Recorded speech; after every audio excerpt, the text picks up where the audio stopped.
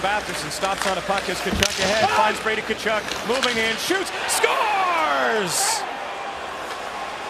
Brady Tkachuk beats Knight with a bullet and ties the game in front of mom and dad.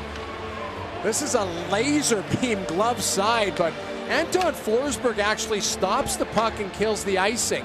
Then the play continues on, and about 30 seconds later, up the wall. It's a good heads-up play by Batherson. A little snooker pass. Tkachuk knows that he's going to get wedged off. So what does he do?